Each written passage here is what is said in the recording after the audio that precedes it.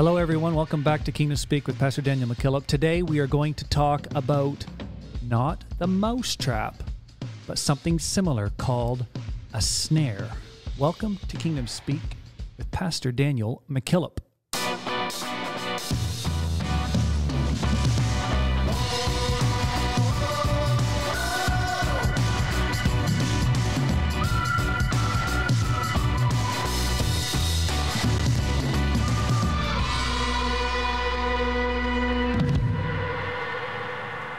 So, producer Randy, Yes. you are a woodsman of the ultimate. Have you ever set a snare? I have not. Yeah. No, I'm You not ever that. fallen for a snare? I, Ooh, um, Have you been snared? that hits different, as they say. Yes, yes. We've all been in a snare or two. So, welcome back, everyone. Um, Yes. This is Kingdom Speak with Pastor Daniel McKillop. You are joining us today, maybe for your first time, maybe not. Uh, I read this review online a few days ago, uh, and it's great to know that we are attracting new listeners. Um, so, hear, hear this out Five star Apple review podcast says, I just started listening not too long ago, and this podcast is great. These are very knowledgeable men, but also understanding men with wise words that everyone can understand. I love being able to listen because they share wise words with the Bible to back up what they say. And that is from Cheesy on Apple Podcast. We will say amen to that. Can I get an amen? Can I get a hallelujah? So thanks for listening. Um, yes. One more five star, great podcast. Well done. If the world can have podcasts giving worldly advice, the church should more so be broadcasting truth in the podcast world. Keep it up. And that is from Chosen. Generation, which I Oh, believe, yeah. yeah, is another podcast. So thank you very much for that. Chosen Awesome. Generation. We appreciate that. No. And we say amen. Can I get an amen? Can I get a hallelujah? Well, it feels a little Yeah. different. It feels a little different in the studio here today. It does. It's it's not too different. It's not quite the same. You have to look carefully, but sitting over here across the table is a vacant chair Yeah. and a hologram image Oh, yeah. of the man himself, Pastor Daniel McKillop.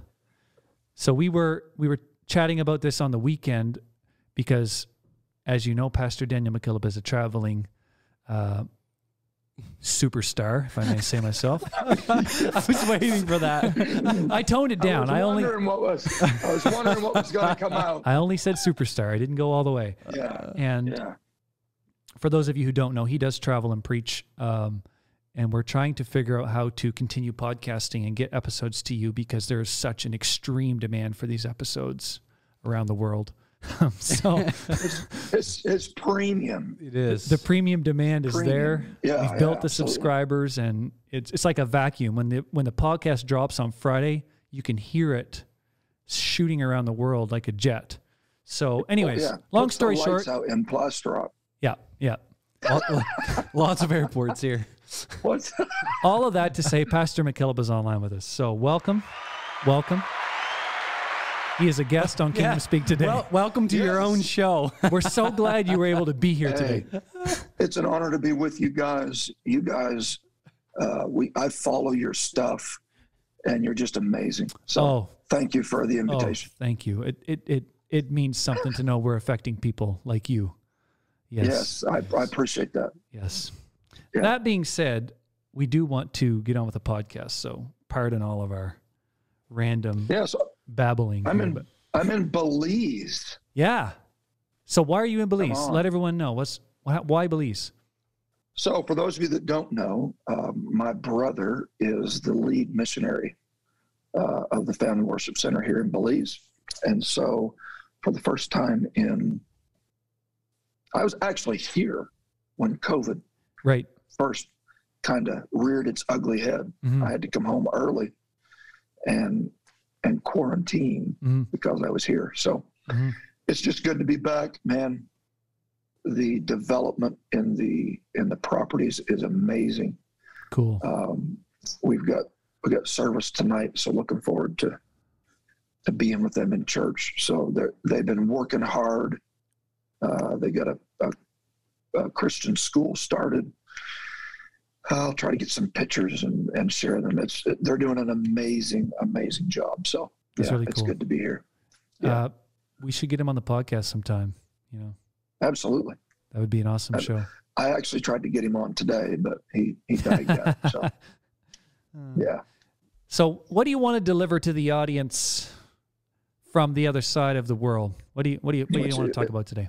It it's your podcast, so I'm I'm just here to be All right, all right. be a blessing. So I Yeah. I'd like to talk about snares. And, Yeah, okay. and, and maybe work it in with some sort of like a love relationship. Yeah, You Yeah. Yeah. You guys know uh, Pop Townley. Mhm. of So our- course, the legend. Yes, our guest last week's uh, Pastor Wade Townley. hmm Great episode.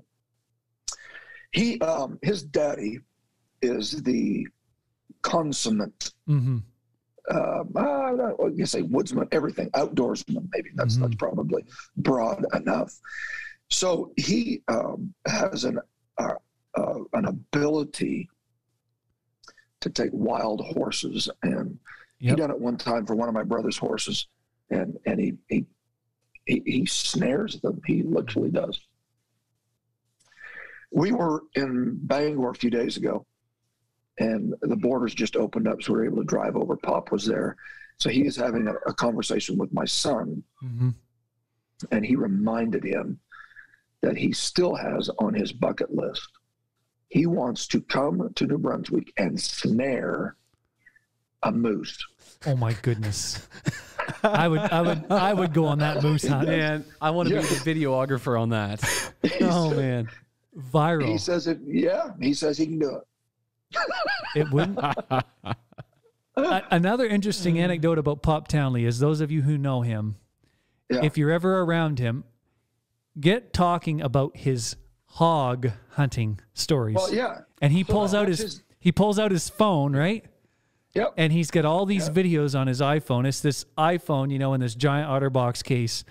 But he gets flipping through his phone and he'll show you videos of And Just- every pitcher has a story. everyone. Yeah, incredible to see. And he wants to add Yeah. uh, snaring a moose. Oh to, my To word. the, to the hogs, the horses. And he's convinced it can happen.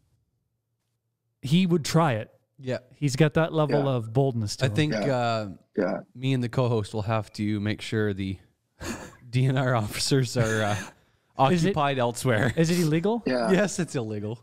No, but if you had a tag, it's still Really? illegal, I don't think you can snare a moose. No. Even during moose season. You're saying Well- you don't think because you just don't think it could happen or legal? No, no, no, no. Legally, legally. if you are a Ah. DNR officer listening to this podcast in Yeah. Canada, let us know. Yeah. We must have a forest Yeah. ranger who listens, who could even in the states, who, you know, could help help us out with that. Yeah. I'd I would like to see that YouTube video for sure. I would I would watch that. Yeah. That's pretty cool. Yes. So we're going to talk about relationships today. hmm And You don't say uh, you could be snared by a relationship, do you? That's kind of what. Yeah. yeah. Oof. I, I I hate to be diving off into that right away, but the um, we- we'll unpack this a bit farther in a moment. But Mhm. First Samuel 18, and if you read just the 20th Sure. and 21st verse, All right, let's read it. First Samuel eighteen twenty says, And Michal, Saul's daughter, loved David. And they told Saul, and the thing pleased him. And Saul said, yeah, he- I will Yeah. give him her, that she may be a snare to him. there it is. That she may be a snare Hmm. to him. What what was the end result that he was hoping for? And that the hand of the Philistines may be against them. Yeah. Wherefore Saul Yeah. said to David, Thou shalt this day be my son in law in the one of the twain. Right. Wow. Man, that was quite a plan. It was a devious thing. It's a devious thing. So let, let me just throw this hook out there and we'll come back to it. But you, you got to be so cautious about what you fall in love with. hmm Mm-hmm. because what you what you enter into that relationship with becomes someone Mm-hmm. that if if they have ill intent they can use what you love Mm-hmm. for their purpose for their purpose so saul obviously knew that that michal and david loved each other That's right. and he wanted to use that for his advantage to gain uh, a well let me say this not just to gain to preserve his position mm-hmm. in the kingdom because he viewed david as a threat so relationships are powerful stuff Oh yeah. Oh yeah. they're powerful stuff Yep.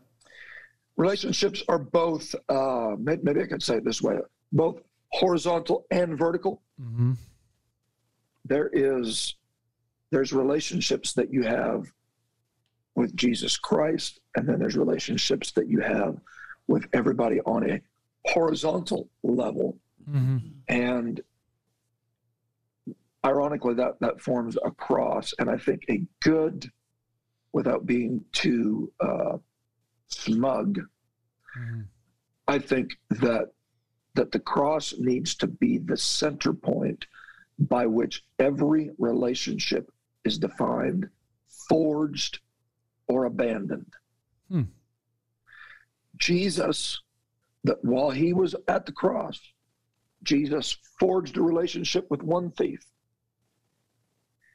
He abandoned a relationship with the other one That's very good. at the cross. Hmm. The cross becomes or should be for the Christian where we where we forge and abandon every relationship. And if if their response to the cross is not favorable, then at that point we need to say, okay, that, then uh, I, I just don't see us going forward.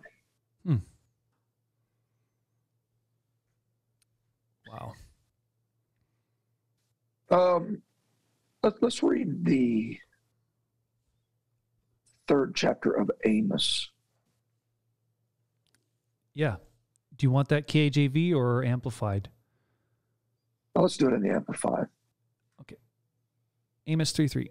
Do two walk together except they make an appointment and have agreed? Good question. Yeah, that's a loaded question. That's a It is. Yeah, it's kind of a intriguing and maybe even could we say rhetorical question, a line of questioning, because he knows the answer to it. Right. Mhm. He's not asking for a revelation. He knows that two people cannot walk together unless they be agreed. Mhm. So, so when we are talking about relationships, Amos is letting us know first and foremost that they are never stationary; they're always evolving. Mm-hmm. He describes it as a walking with them. Yeah. So when I form a relationship with, whether it be on a friend level, whether it be on a more intimate level, uh, if, if I'm single and I'm looking for a spouse, Mhm. if I am just looking to expand my circle of friends, it's important that we enter into these pursuits with an understanding, as we've already said, that the cross needs to be front and center to the forging of that relationship. And then that relationships are progressive, they're fluid, they're always moving. Mhm. A, sta- a stationary relationship is a stagnant relationship, but you're walking, you're you're you're you're mobile, and as you walk, Mhm. as you walk, you have to. I'm just wanting to to let, let me um, let me read something to you here. Mhm. You can walk together with someone accidentally for a few moments, Yeah. but with right. but without coming to an agreement, Yeah. you quickly will cease to be together. Ooh, wow. That doesn't that doesn't mean that there has to be this major blow up for you not to be together. No, that's But right. the fact that two people are are together and walking means it demands here's a here's a here's a, a word that sometimes we shy away from, but it demands compromise.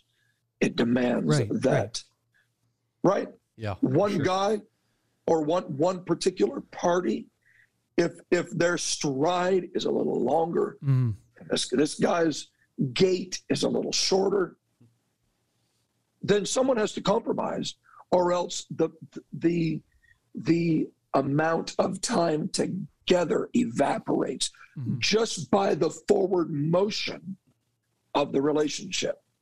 Well, producer Randy and I have been friends for for a few years, and we fight constantly. So that's really encouraging to hear that we Yes. must we must be walking together. It is. And I find myself compromising all the time. I can't, I can't stand how slow you eat your food. If we could just solve this one problem, we could get on with life. Yes, yes.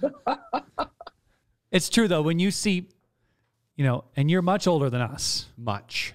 Uh, But if you're going to have a friend for multiple years, and if the friends that you've had over the years, you do go through seasons of somebody disagrees over something, but yet you you like you said, the word compromise is is a is the excellent way to put it, where you say, you know what, in spite of that, we're still going to be friends, and you do this adjustment.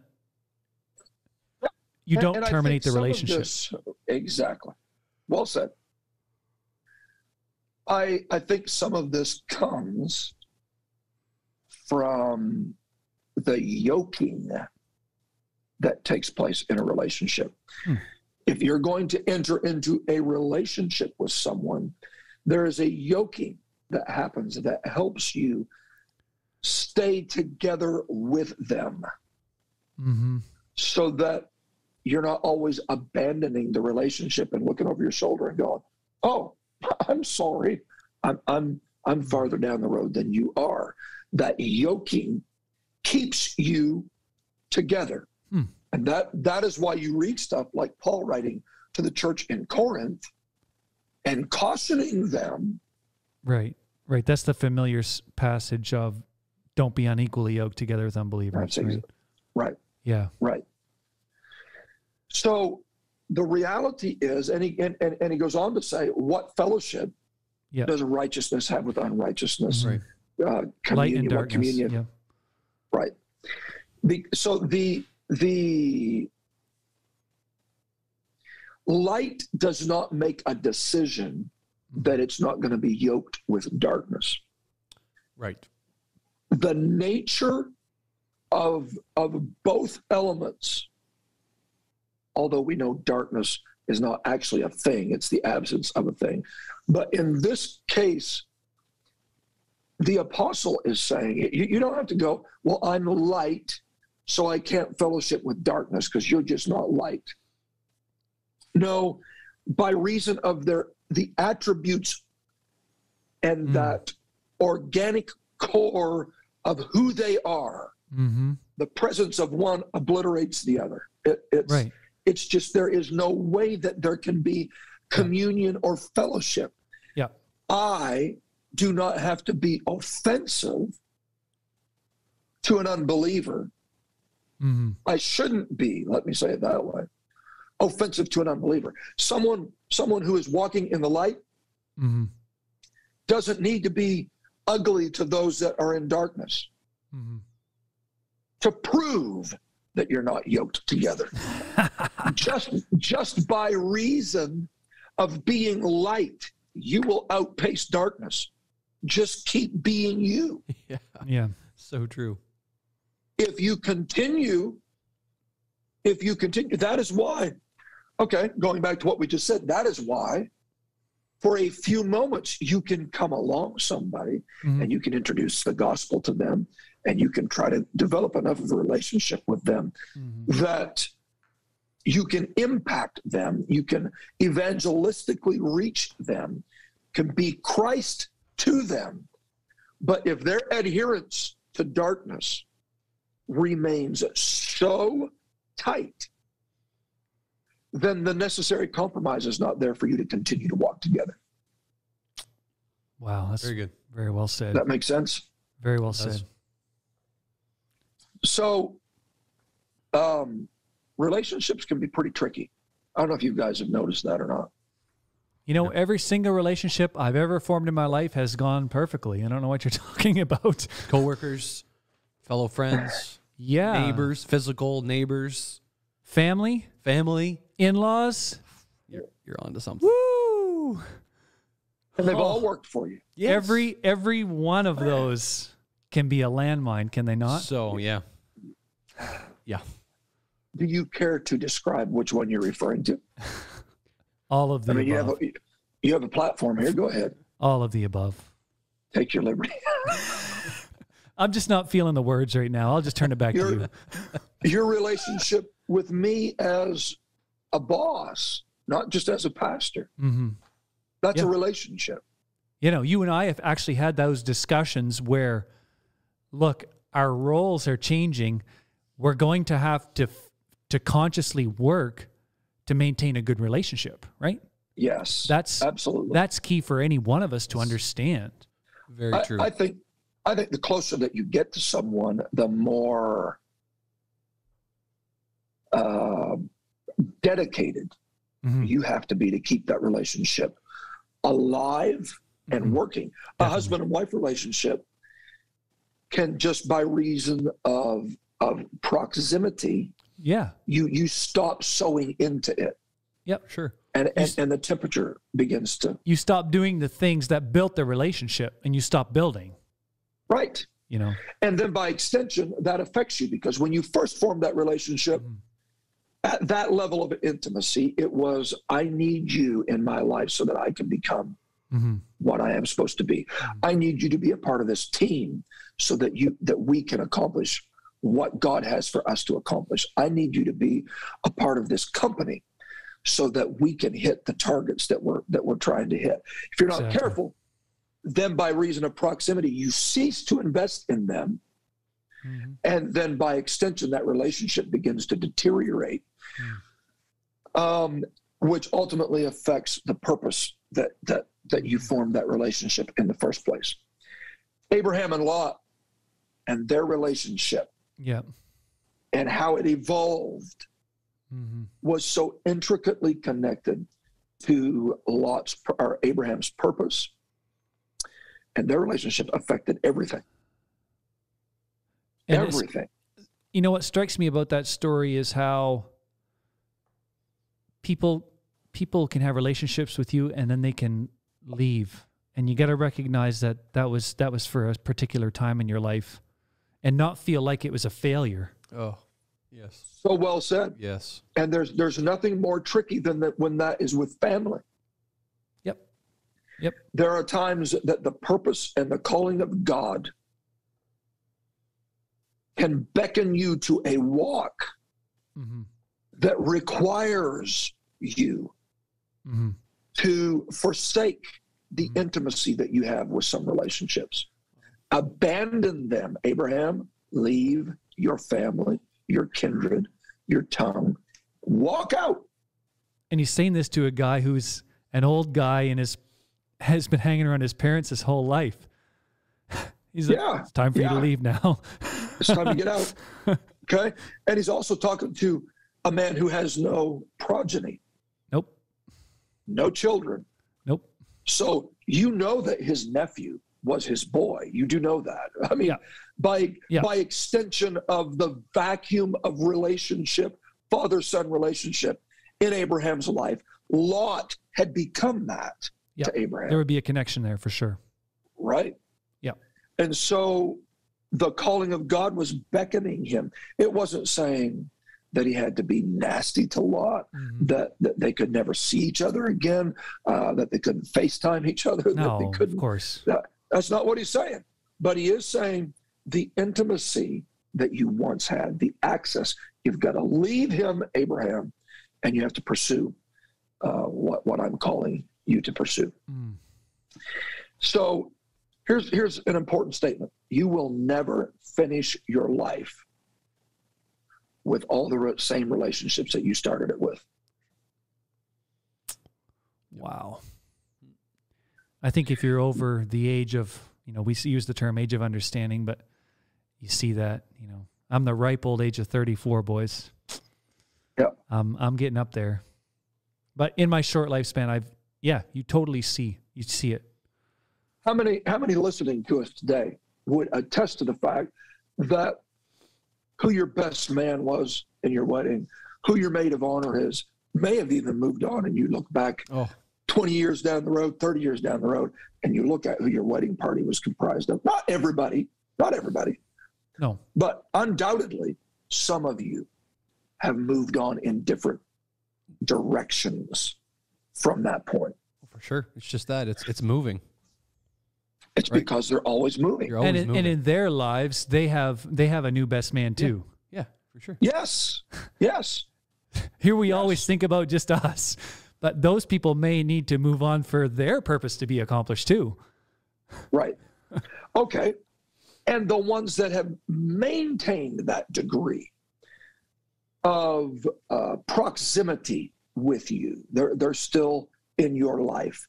If you're honest with yourself, even, even those relationships have gone through cycles of varying degrees of intimacy. Mhm. Paul and John Mark.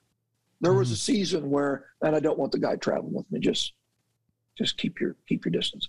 So managing relationships becomes um, a very critical Mhm. responsibility Mhm. if you want to live a successful life, Mhm. because there are some people that God brings into your life that are simply scaffolding.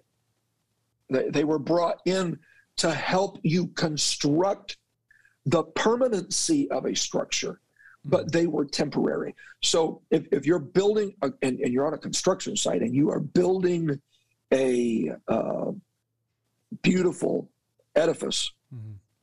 that in the early stages and in the unfinished stages of construction, you walk in there expecting to see that. But at the ribbon cutting ceremony, you don't expect to walk in and see scaffolding. That's a problem. Right. So you see that happening with Abraham and Lot. He is he's he don't want to let Lot go. No. And it must have been So, a uh, comfort thing to him, right? Totally, Yeah. totally a familiarity. Yeah. I'm, Yep. I'm, I'm stepping out on a voyage that I don't know anybody. Uh, God's calling me out of Mhm. my comfort zone. So, can I at least keep this relationship? A- And that's not making Lot the sinner necessarily and Abraham the saint. That is just a reality that, that God can reach into a youth group, elevate one particular young man out of the Mhm. youth group, call him to a purpose that changes the relationship that he will have with the rest of that youth group forever. That doesn't mean the youth group's backslid. No. Nor does that mean he is worth any more than anybody else. But if he refuses to abandon Mhm. the the the lot in his life, then- Sometimes you got to cast then- lots. My God, can we get an amen on that? Yeah. Man, if I was running the switchboard right now, I'd Bible bomb that. All right. So let me ask okay, you. without, let me can I ask. just say this yeah, first? go ahead. Part of the problem, and I don't want to get stuck on poor Lot and Abraham here, but part of the problem Mhm. is that Lot only had a relationship with Abraham. Abraham had a relationship with God. Oh, wow. I will Bible Well- bomb that. Very, very key. So Mm. you have to have, when you're going to walk by faith, you want the people around you to not just have a relationship with you, hmm you want them to have a relationship with God. Wow. That's key. so, Go ahead. You're going to ask a question. so how how do we end up getting snared by relationships? How where do we go off track? Um, great question. I think I think that one of the contributing elements of this is because we all have relationships on every different level. hmm Okay, and and we might as well be honest. Not all of them are worth the same thing to us. No, no, no. There are some relationships that that if if we think we had a, a close brush with this a few weeks ago in our family of losing my dad. Mhm. Okay, that's woo. I don't want to think about it. Mhm. There are other people that if God took them out of my life, the relationship is not as intimate with me. So I it would be easier for me to move on. Mhm. Abraham and Lot, again, Lot meant a lot to Abraham. That's why he Mhm. brought him. Mhm. So how can I get snared by something? I think the first ingredient that has to be there for you to be snared is love. Hmm. Um, I, I can't I can't be I can't be snared by something. Or let me let me rephrase that. It's more difficult for me to be snared by something that I don't love than it is to be pulled by something that I love. And, and that brings us back to the text that we started with, with um, Saul seeing an opportunity with David Very true. Yes. and, and, and Michal's relationship. Mm-hmm. Okay. So um, I, I think let- let's set this up just for a minute. So, so Saul, Saul is uh, a very insecure king. Yep. He has a throne, but David has an anointing. hmm And a man that has an anointing is always a threat to a man that only has a throne. Woo! Always. That's the truth. always. Uh, there's something riveting about the anointing. The anointing will bring people to you when Mhm. you don't even have anything to give them. The the fact that men came to David in a cave when he had no positions to give them. He's got no money. He's got nothing.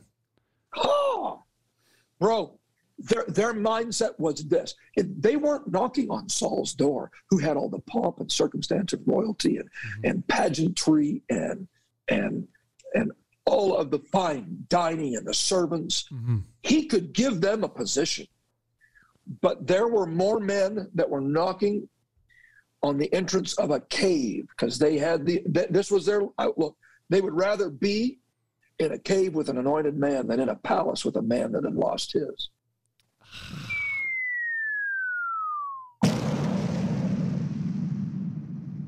There's just something about the anointing. People will go And- anywhere to find it, won't they? Oh yeah. Absolutely. Yep. And so the anointing affected Saul and David's relationship. It made, okay, Saul is a man that's tormented. Saul is a man that is intimidated by the Philistines. Mhm. He's intimidated by Goliath. hmm Okay. He had he had been under the the spell of demonic influences and evil spirits. God had lifted that covering off of him that would have protected him from those evil spirits. And guess who he would call when he was fighting those evil spirits? Yeah. He called David. And David would come in Mm. And with the harp began to sing and the anointing that was on David's life. Listen, the anointing was not just on David to to to propel him to a throne, hmm but the anointing was something that affected every facet of David's life. The anointing affected how he wrote, how he sang, how he played, how he interacted with people. If God's ever anointed you and you feel like you've got an anointing to be in ministry and an anointing to, to fill a particular office in the ministry, one of the worst mistakes you can make is thinking that it will only be activated when you get the throne. Yeah.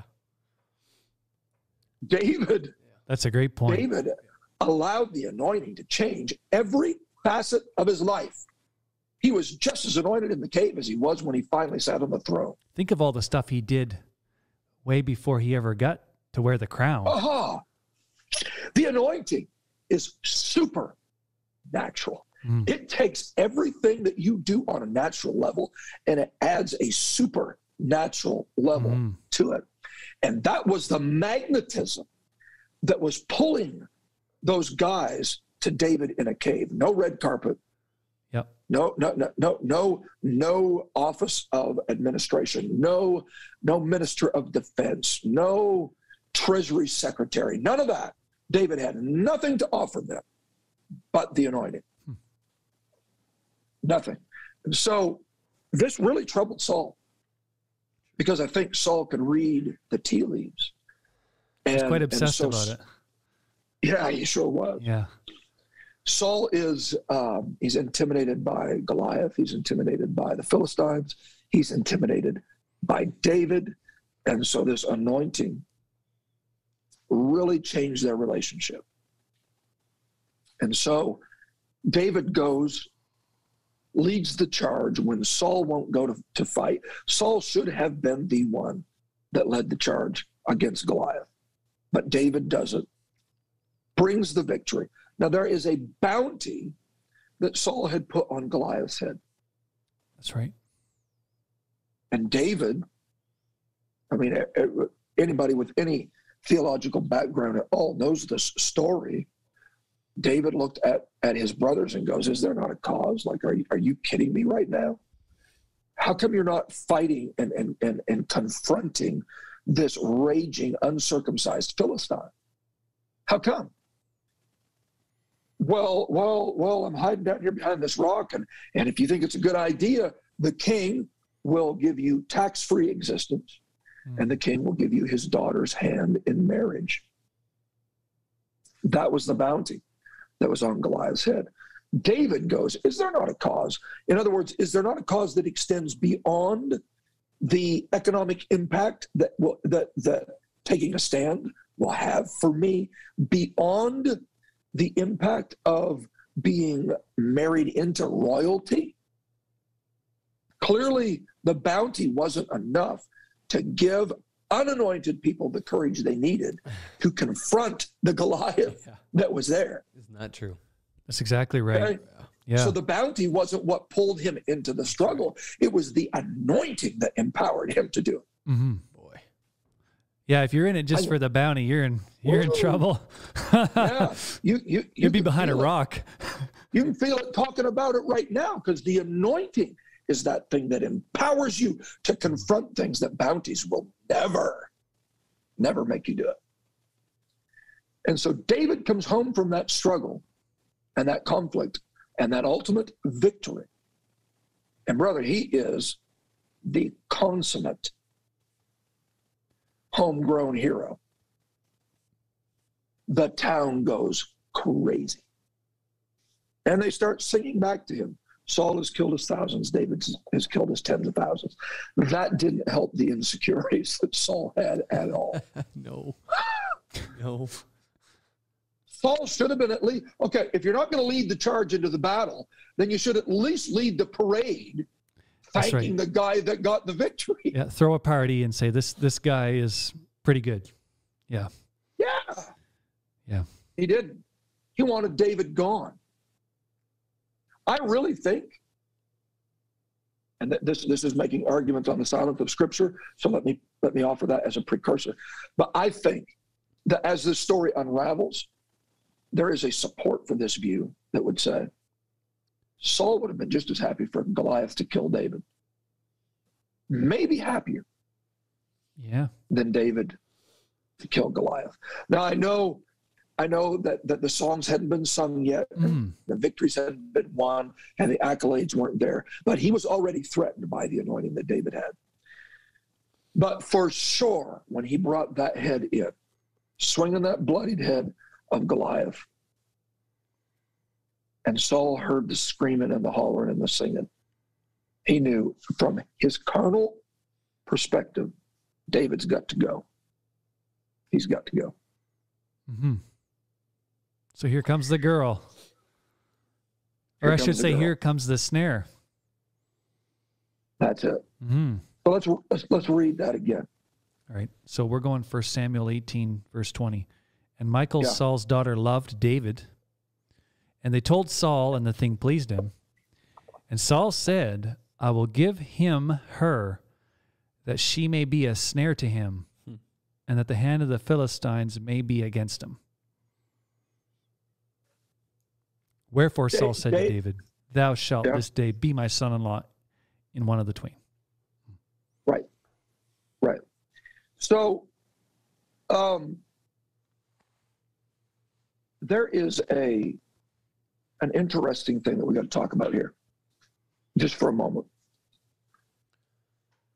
The, the context, the greater context of this passage is okay. First of all, remember that this this was already an agreement that whoever kills whoever kills Goliath Yep, gets my daughter's hand in marriage. that's right. Okay.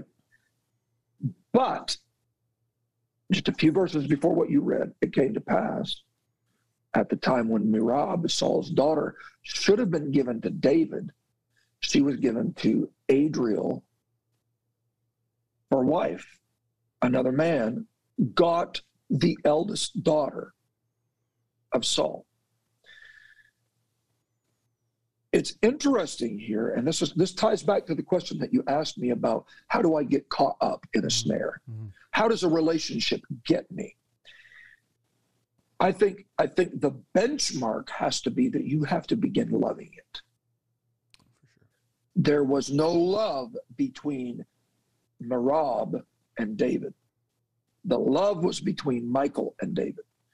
So Merab is given to another man that technically she should have been given to David. But I believe that the devious, demonic, even, well, we know it's described as evil uh, spirit that was motivating Saul caused him to look across the landscape and go, Man, I got to get rid of this guy. He will be the end of me. How can I get rid of him? And he sees, you, you can tell when someone loves each other Mhm. he sees when when David comes into the palace how how how Michal spruces up just a little bit extra. He sees those looks that are going between David and Michal, and he knows that they love each other. And so he says to her to them, let's let's give Michal. Let's give Michal to David. I can use Michal to my advantage to accomplish my devious intent because David loves her and she loves David. So I am going to take advantage of the relationship that they have to accomplish what I am wanting to accomplish Hmm. to preserve my, my, my king, my kingdom. It takes love. Saul was happy. You hear me? He was happy Oh yeah. that David and Michal loved each other. You know it. Arranged arranged marriages were not uncommon in that time frame. But to have an arranged marriage where someone was in love with each other, Mhm. the love became the currency that that Saul said, "All right, I, I've got enough to purchase a snare. I can use Michal because they, her and David love each other. I can use that relationship to be a snare to catch David."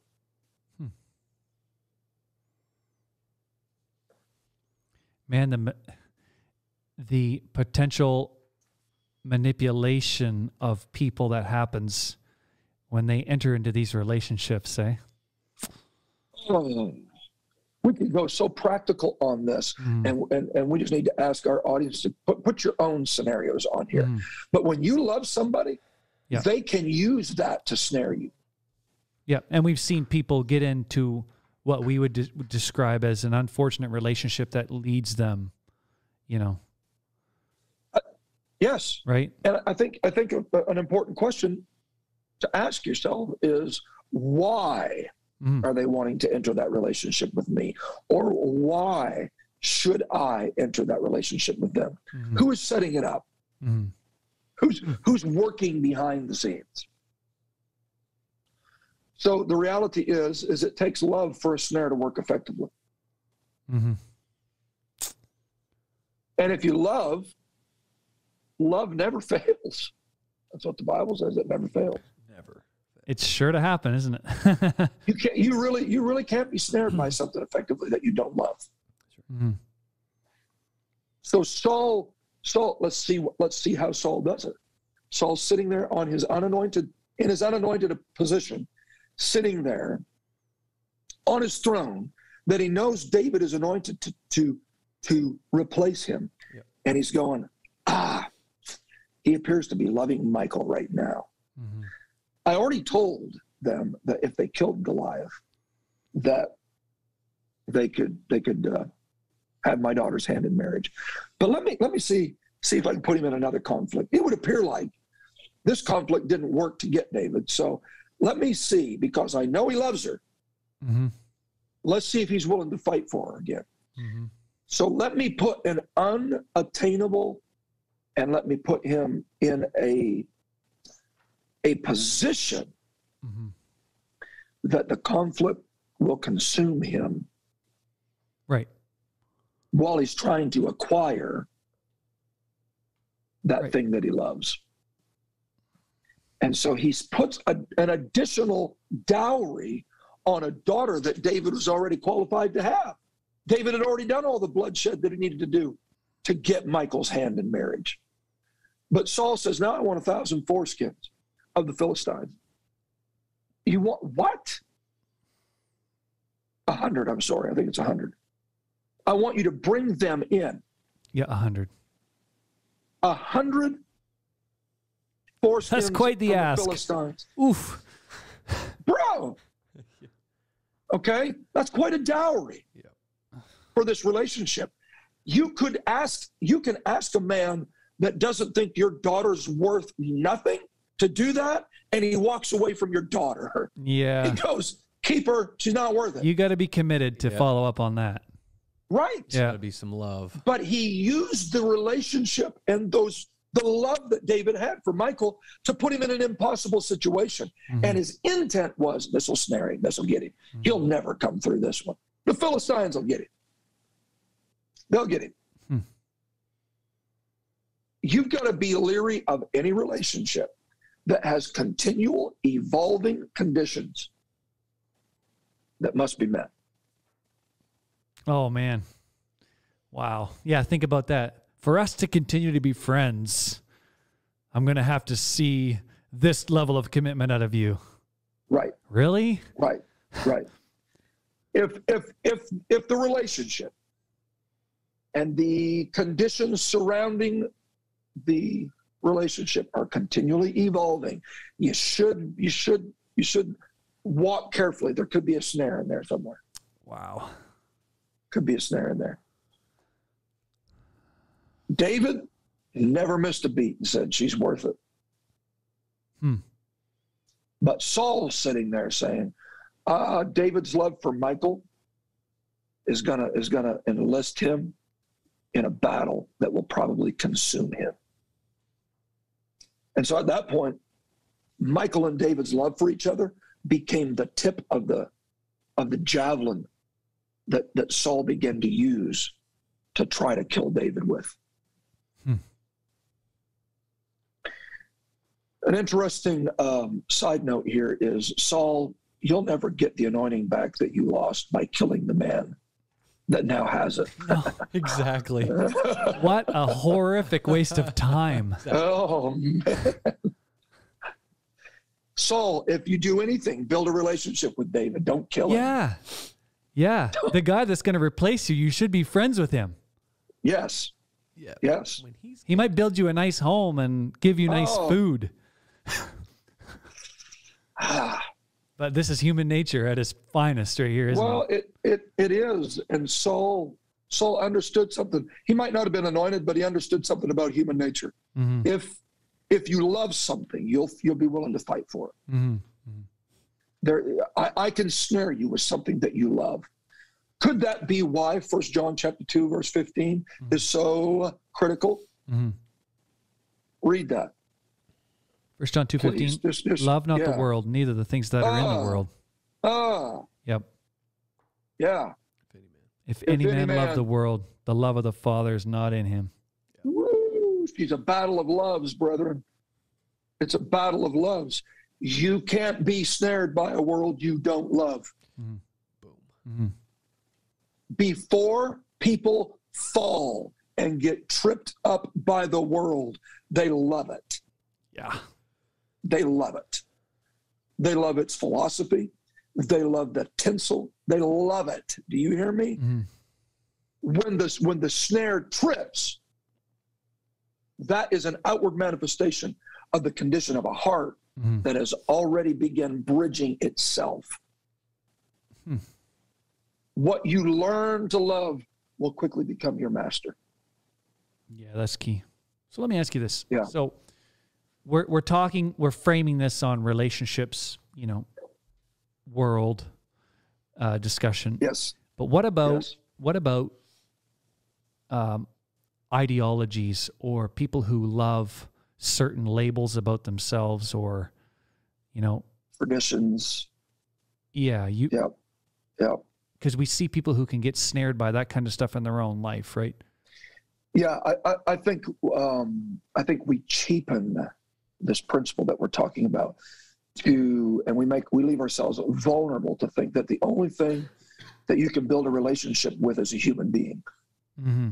yeah yeah that says it better yeah right? You you can have a relationship with a with a pet.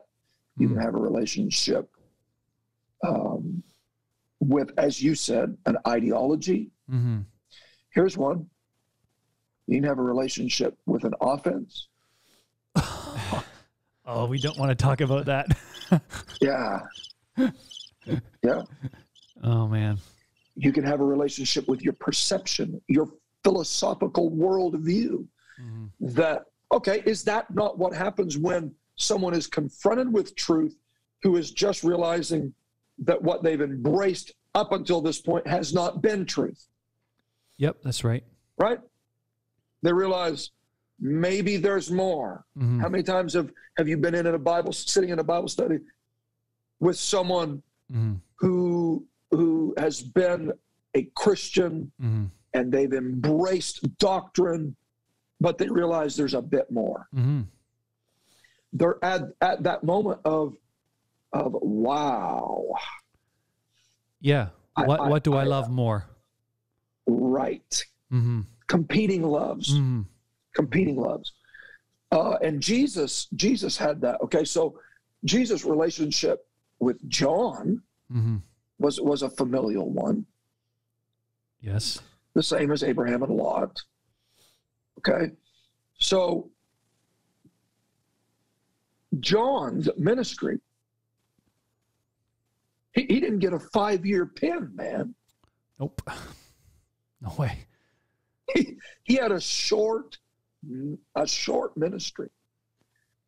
And it, the entirety of his ministry was to forerun Jesus Christ, a man that by his own admission, I'm not saying a man in the sense of um, sacrilege, Mhm. but the God man, that by John's own admission, he could not even bend down and, and, and unloose the shoes, the latchets on the shoes of Jesus. Okay? John ends up after an effective ministry of introducing Jesus to the world. Mm-hmm. He ends up in he ends up in jail. Yep. How do you think he felt about his relationship with Jesus at that point? Oh man. Yeah. Talk know about he- relationships. Brother, That's a test. brother. He wasn't even sure when he got in jail if Jesus was the right one. He sent his disciples to say, Would you just ask him, Are, are you really him? Or have I been hoodwinked by the fact that I loved you? Did you snare me? Have you have you pulled one over on me? Yeah, questioning, you know, questioning everything at that point. Of course. Because you know it's not going to end well if you're Johnny Boy. Well, this goes back to what, right.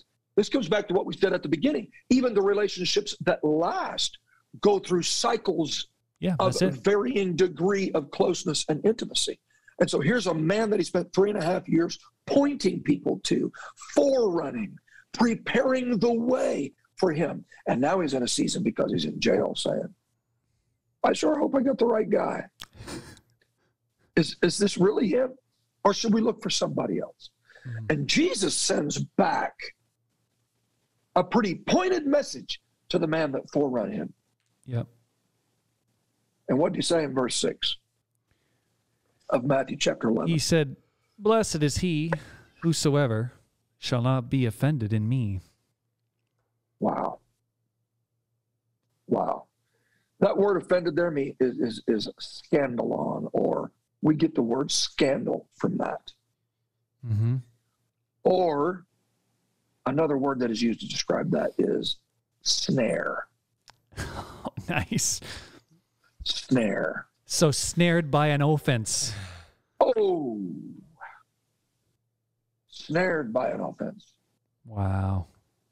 it it uh, john john please hear me that's that's the heartbeat of jesus Mhm. at, at this point in your ministry don't let an offense trip you up you weren't offended when your disciples left you and started following me you weren't offended by by the opposition that you faced in your ministry having to go and teach in the wilderness no no no And you know, it almost seems like he was immune to it up until that point.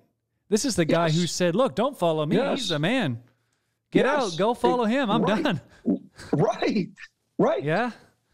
but an offense becomes okay what, what the, the the definition goes goes on to say a stumbling block Mm-hmm. a movable stick or trigger of a trap Yep.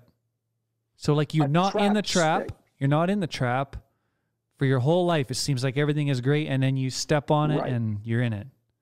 the offense becomes the trigger the offense is not the snare the offense is the trigger the offense is not the trap Mhm. It's it's what makes the trap snap. Hmm. John, don't fall in love with your offense. Don't embrace your offense because that will snare you. When your relationship does not give you what you were expecting out of it, Mhm. don't allow the offense that you got because you're not you're you didn't get what you're expecting to become what trips the snare that will ultimately take you out. Man, if you're driving in your car that's right good. now, That's good. that's pretty good stuff. We know this is helping you today. Wow. That's, We're all there, guys. We're all there. we're all there. We're all we there. all invest in relationships that do not give back to us That's what right. we were expecting. Yep.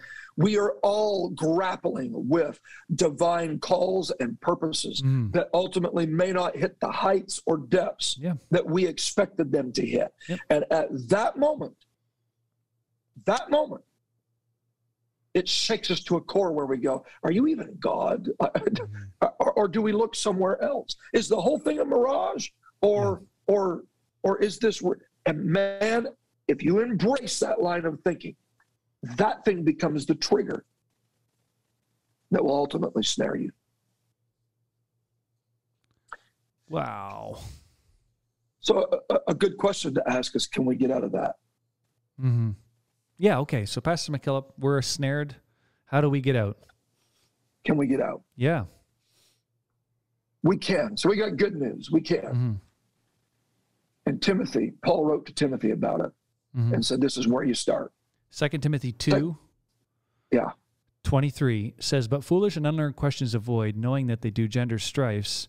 And the servant of the Lord must not strive, but be gentle unto all men, apt to teach, patient, in meekness instructing those that oppose themselves, if God peradventure will give them repentance to the acknowledging of the truth, that they may recover themselves out of the snare of the devil, who are Oh. taken captive by him at his will.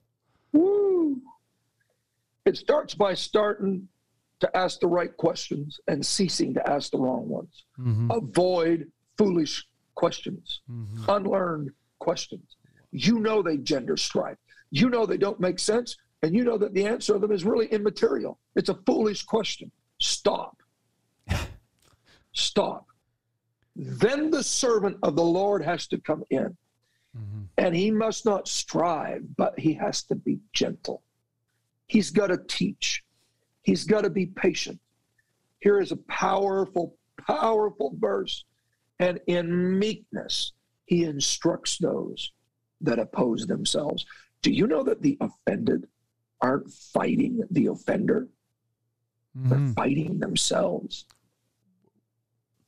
They're opposing themselves. That is Wow. the point. That is the point where preaching steps in, teaching. The servant of the Lord comes in. And you walk in and you sit down on a pew, Mhm. and the man of God opens the Word of God. And he's got a set of snips, Yep. 10 snips, and he's coming after you. Not to cut you, but to cut the snare. That's right. And in meekness, he's going, stop asking those questions. You, Yep. you, you can't get the answers that you're searching for by asking. To get the right answer, you've got to ask the right question. Mhm. Stop asking the wrong question. Let me teach And he you. Right. yeah. Let me, with patience, Mm. teach you. I want to gently approach you. I want to, in meekness, instruct you. Son, you're opposing yourself. Mhm. You're you're you're you're harming yourself.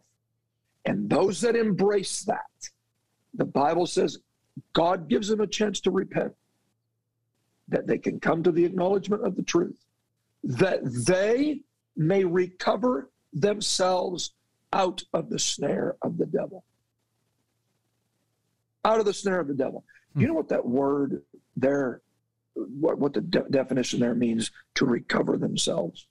Hmm. It means to awake to soberness. Wow. In other words, when you are struggling with offense, struggling with bitterness, struggling with relationships, maybe it's people, mm-hmm. and you're snared by it, it becomes something that intoxicates you. It affects a man that's intoxicated is a man that doesn't think right, he doesn't talk right, he doesn't walk right, Mhm. he doesn't interact with the rest of the world right. He's intoxicated. When you are snared, you are intoxicated. But if you will embrace the servant of the Lord, who in meekness is teaching you, saying, Come on out, come on out, you will recover yourselves. It's it's the same way almost as the prodigal son, when the Bible says he came Yeah. to himself. Yeah. It gives you the it gives you the the understanding that he wasn't him. Right?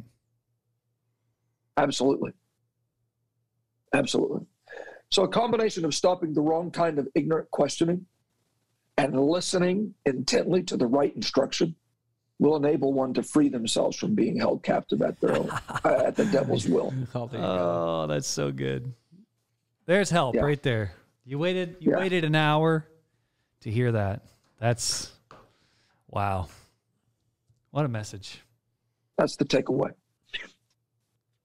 That's the takeaway. I get the mental image of, you know, a shepherd coming to his sheep in a snare, and you, as an, an animal in a snare struggles and struggles and struggles, and the more they struggle, the tighter it gets, right? Right. And you got to say, And- and- okay, calm down, stop struggling, Yes. let me help you. Which, so well said. Absolutely. Because it is impossible. It is impossible for you to recover yourself from a snare by yourself. You're not doing it. You're not doing it. It'll never happen. It always requires exterior, outside help. Mm-hmm. So the first thing that you do is while your foot is still in the snare, change the line of questioning and then listen to the man that's instructing you in meekness. That's how you recover from a snare.